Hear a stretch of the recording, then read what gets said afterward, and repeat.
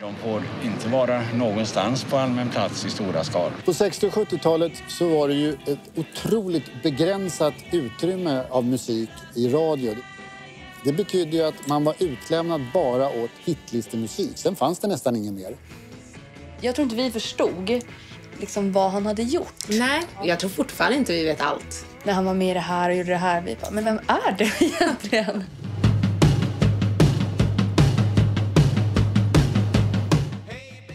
Ola Håkansson är rockidolen som blev diskolegend, som blev musikproducent.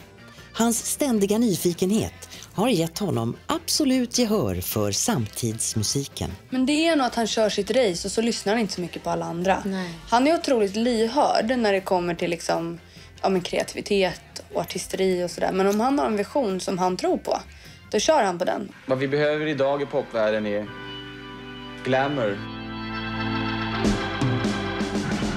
Så jag träffade den ena killen på bussen och så frågade han, vill du vara med i vårt band? Och då trodde jag att jag skulle dö. Och sen var det en kille i vårt gäng som anmälde oss i lönndom till Nalens popbandstävling. Mascos vann och vi kom tvåa. Och då fick vi börja uppträda på Nalen och då började liksom Janglers egentligen. Jag vill ha popidolen på scen och, och bara på scen, ingen annanstans.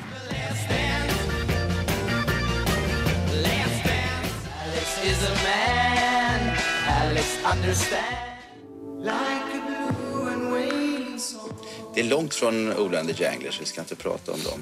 Nej, det är 25 år ungefär mellan.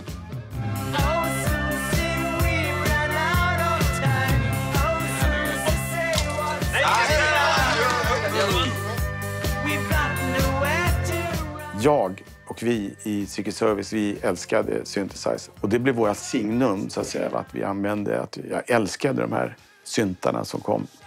Och så blev det det kalla ljudet i, i Flash in the Night.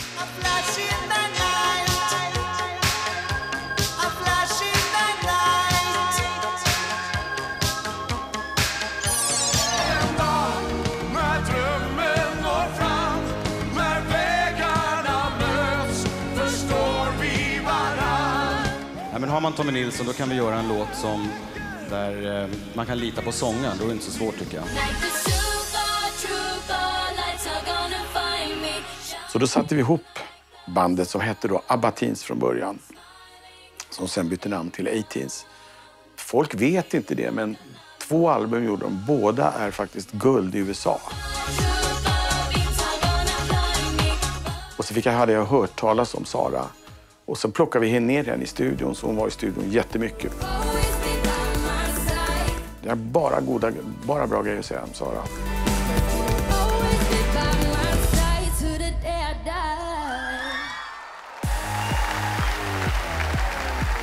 För att hedra Ola Håkansson, plats på scen för Icona Pop.